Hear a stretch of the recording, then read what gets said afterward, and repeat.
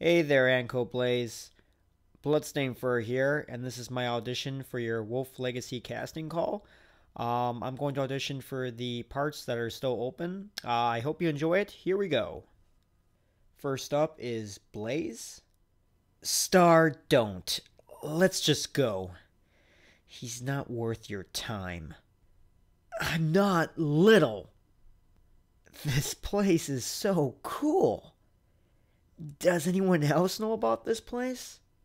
It's just that I try to stay out of trouble. You know, my dad being the alpha and all. Uh, yeah, I'm fine. The only thing that hurts is uh, my leg.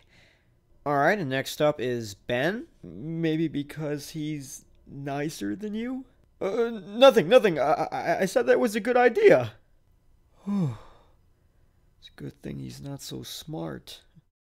Hey there, Anko Blaze. Bloodstained Fur here, and I'm auditioning for your Wolf Legacy cast. You know, I can't talk today. This is probably the hardest part of the whole audition. Is introducing myself, saying who I am. I don't know why, it just is. It's what I have the most problem doing with every single one of my auditions is always doing the little introductory. It's probably the thing I have to do the most number of retakes on because I always screw up on saying something. That's one of the reasons why I took it out. What the heck am I talking about? Okay, yeah.